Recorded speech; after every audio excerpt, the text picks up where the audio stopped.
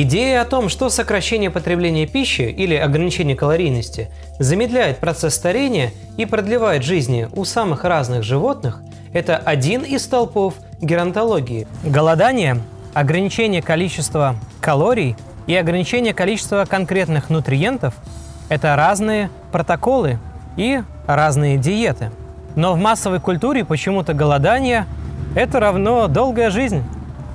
Его участники голодают по двое с половиной суток, от чего работают более эффективно и чувствуют себя при этом прекрасно. Слушай только того, кто хорошо выглядит, кто хорошо себя чувствует. В начале 20 века Осборн и его коллеги сообщили о том, что самки крыс с задержкой роста и задержкой полового развития жили дольше нормальных крыс.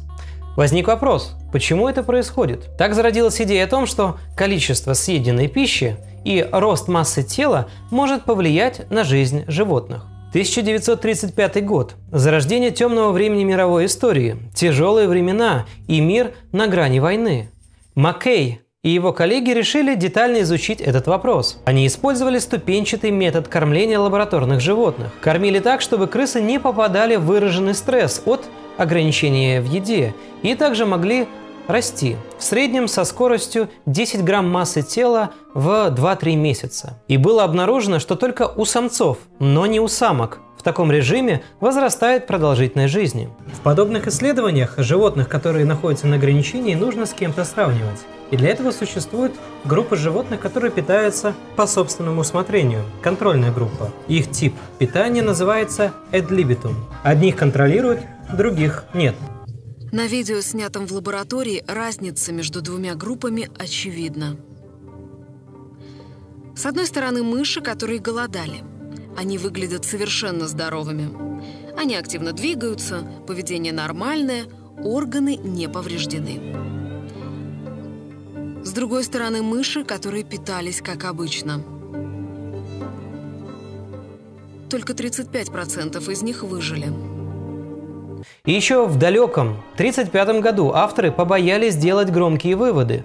И ученые подчеркнули, что крысы, с которыми сравнивали голодающих крыс, это контрольная группа, могут подвергаться негативному воздействию на здоровье из-за ожирения – Кормление по собственному желанию ad libitum делало крыс толстыми и повышало массу тела. Более того, во время эксперимента случайная поломка в системе отопления дала ученым новую пищу для размышлений. Голодающие крысы были, мягко говоря, не в тонусе и просто погибали из-за того, что не могли выдерживать низкую температуру в помещении, в лаборатории.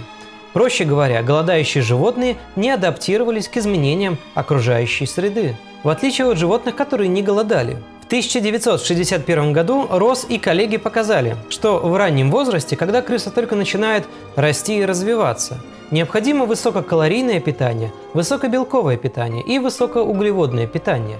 Такие диеты без ограничения калорийности полезны для животных. Они позволяют крысам быстро развиваться. Такие крысы имели низкую смертность в сравнении с теми, что имели мало белка и мало углеводов на первых этапах жизни.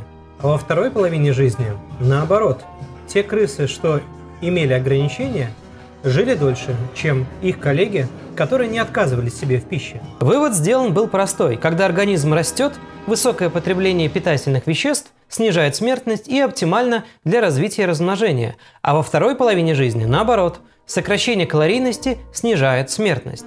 Это важный тезис, поскольку некоторые даже своих детей сажают на низкокалорийные диеты и вносят в их жизнь практики голодания. Друзья, всем привет! Это второй канал проекта CMT «Научный подход». Здесь мы публикуем выжимки из основных роликов. Данный формат называется «По полочкам». Несколько минут по самым главным темам. Также на канале вы можете найти переводы зарубежных материалов в сфере доказательной медицины, различные курсы и много чего полезного. Подписывайтесь на канал и не забудьте нажать на колокольчик. Если у вас есть предложения по новым роликам, оставляйте их в комментариях к видео на YouTube.